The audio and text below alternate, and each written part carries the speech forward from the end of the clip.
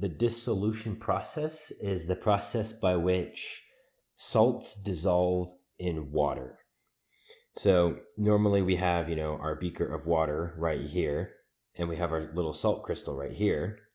And we take our salt crystal and put it in the water, and it breaks up into these little smaller chunks until eventually it's all dissolved, and all we have is this solution that is, you know, clear or colored depending on the salt, but we can't see any more salt crystals in it.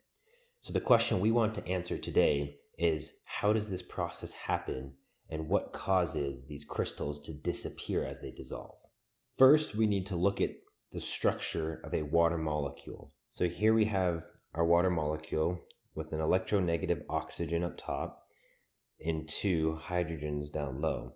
Due to the electronegativity of this oxygen molecule, this OH bond is polar, giving us a partial negative on the oxygen end and a partial positive charge on the hydrogen end. So the overall polarity of the molecule is negative towards the oxygen end.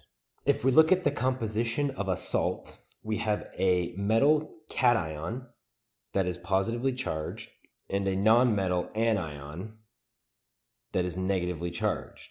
These two particles are electrostatically attracted to each other and form an ionic compound.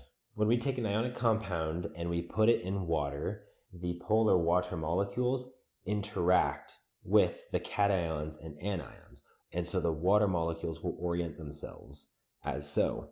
These electrostatic interactions are so strong that the water molecules will begin to wedge themselves in between these ions and pull them apart from one another.